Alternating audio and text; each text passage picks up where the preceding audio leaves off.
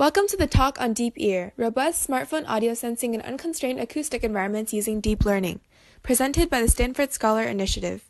Communication is an essential part of civilization.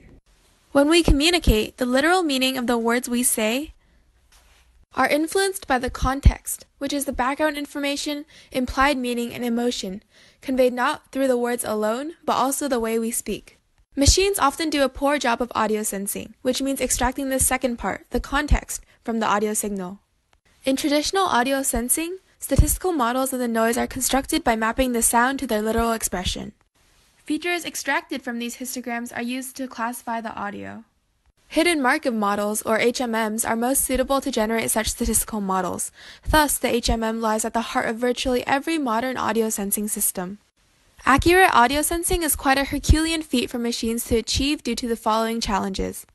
1. Accounting for environmental factors such as noisy appliances, furniture amplifying sound, or people talking in the living room. 2. The difficulty of identifying and filtering background noise.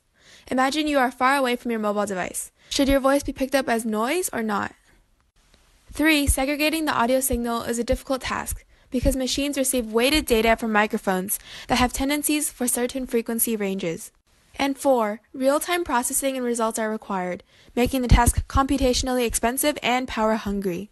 Rather than developing such a model that is highly susceptible to changes and error-prone, the authors developed a generalized framework called DeepEar that is based on deep learning. It is robust in a diverse set of environments and is energy efficient on mobile devices. Instead of extracting specific features for classification, deep learning learns to extract the features automatically from the data. It requires a large labeled dataset to learn from because of the sheer number of parameters. Getting this large labeled dataset is very difficult. To solve this, the supervised model is initialized with weights learned using unsupervised pre-training. For the supervised classification, a synthetic dataset was created. The supervised model is trained over this dataset to classify the audio. The final model of unsupervised learning uses a stack of restricted Boltzmann machines, or RBMs, which are two layers of nodes connected to each other. Each connection has some weight, based on which the input of the hidden node is determined. It then passes through a ReLU activation function to give us features. The intuition behind this is to be able to reconstruct the input using features extracted. It's like sketching the human face from features described. The input is reconstructed using the weights which are a transposed form of those used to extract the features. To prepare the dataset for supervised training, unlabeled data from various background locations is mixed with the labeled dataset. Thus, each labeled audio spans various background environments. The RBMs are stacked over each other to create a deep neural net with five layers. Each layer of RBM is trained by assuming the output of lower layer as the input. This stack is a deep Boltzmann machine. The authors used 1024 neurons for hidden layers in experimentation. While hidden layers of size 256 rather than 1024 are used for the actual smartphone implementation. This is to save energy with only 3% less accuracy. Tackling four different classification problems, the input to each of them goes through a shared input layer. And then each model classifies that input independently.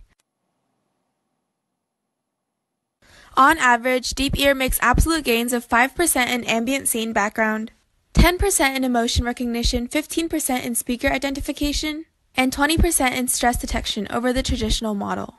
DeepEar offers higher average accuracy of consistently at least 80%. It does all this while using only 6% of smartphone battery on a day of continuous use. DeepEar has helped pave the way for more sophisticated detection.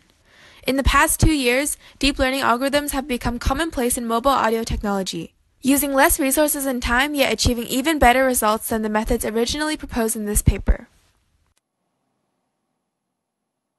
Future applications for this powerful approach range from psychometric analysis to transcription to ultimately creating machines that are more responsive to humans and can understand human interaction. Audio sensing plays a crucial role in changing our world.